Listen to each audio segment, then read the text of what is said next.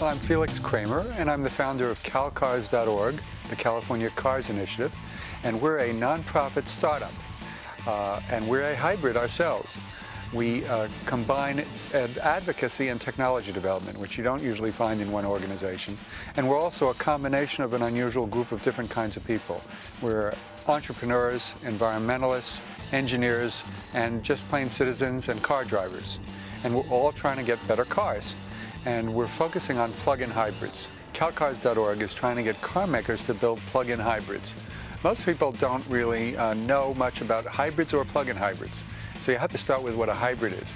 Hybrid is an efficient all-gasoline car. At stoplights, it turns off completely, and you, when you go up a hill, you use a lot of energy. On the way back down, you recapture about half of that into a battery, and you use that to start up again. And that enables you to get a, uh, go from maybe 25 to 50 miles a gallon in your car, but it's still all gasoline. A plug-in hybrid takes that idea and takes it to the logical conclusion. We had a larger battery, and we enable that battery to be fueled not just by gasoline going down hills, but by plugging it in. And you just use a regular 120 volt plug. Uh, and what this does is it starts, instead of making your car more efficient, uh, less use of gasoline, it displaces gasoline with electricity. And that's the big winner, because electricity is better than gasoline. First, it's uh, cheaper, a dollar a gallon equivalent for your driving. Second, it's cleaner. Uh, it's about half as much CO2 emissions as gasoline, even on the national grid, which is half coal. And third, it's domestic. We don't use gasoline to make electricity. So all these things go into a plug-in hybrid, and what you do is you're, uh, you're running your car for your local miles electrically. And that second fuel tank, you fill it with electricity, and you use it first every day. So you still have a hybrid car, but your local miles every day when you commute are electric. And then if you want to go off hundreds of miles, you've still got your hybrid car, which is gasoline fueled.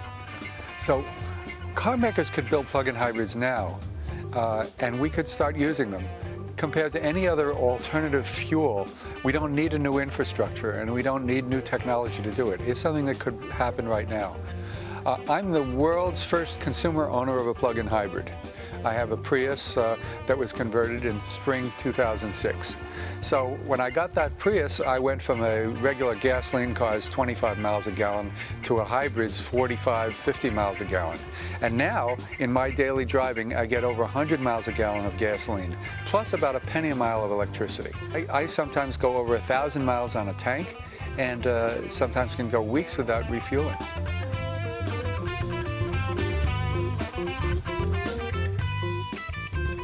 And I decided to get rooftop photovoltaic panels. And what that means is I have what's called a grid-tied system. It means that in the daytime, my rooftop solar system uh, powers the meter back to zero and sends electricity back to the grid. And at night, I power my car. Now I'm on a time of use rate, so I'm powering my car with the cheapest uh, uh, electricity there is. And what that means is I get a quicker payoff on my solar system because I'm using it not just to displace the electricity I use in the house every day, but I'm using it to displace the price of gasoline. Wherever I go, when people see my car with 100 miles per gallon plastered over the side, uh, years ago they used to say, what's that? Now they know what it is. They know it's a plug-in hybrid. They want to get one. And uh, they can't get one. That's the problem. Right now, we're waiting for the car makers. There have been some conversions. There are a few dozen plug-in hybrids in the world. There are some aftermarket companies that will convert your car for many, many thousands of dollars. But the main point is to get the car makers to do it. And we think that, for instance, Toyota could take a 22 to 33,000 $1,000 Prius and sell it as a plug-in hybrid for about $3,000 more. And that would be a win on all counts. So there's a whole campaign that's going on for uh, to organize people to do that. Everybody can tell their dealers, I'm not going to buy another car until I can plug it in. Uh, they can do that. They can support calcars.org and pluginamerica.org, which is emphasizing both plug-in hybrids and electric vehicles. And there's a national campaign for what's called a soft fleet buy order. It's pluginpartners.org, and it was started by some utilities. And they are organizing a national campaign among fleet owners to say, if these cars were made by the car makers, here's exactly what I want. This is the SUV, this is the truck, this is the car I want. And they're organizing and getting thousands of people to sign up. And you can also sign up as an individual in a petition there. And there's a national organization called SetAmericaFree.org, which is organizing legislative efforts to try to get in Congress. There's a DRIVE Act, which is an amazing coalition of uh, Democrats and Republicans, liberals and conservatives, environmentalists and, uh, and skeptics, all supporting uh, plug-in cars as a, uh, as a solution to uh, global warming, energy dependence, and, uh, and, and, and, the economic crisis of the auto industry.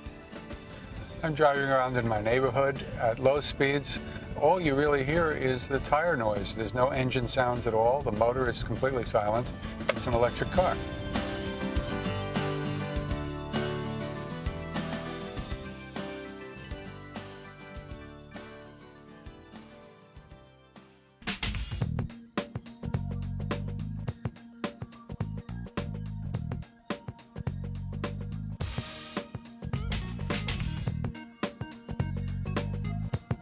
To learn more about the Hippie Gourmet and the Hippie Gourmet's quick and simple cookbook for healthy eating, visit hippiegourmet.com.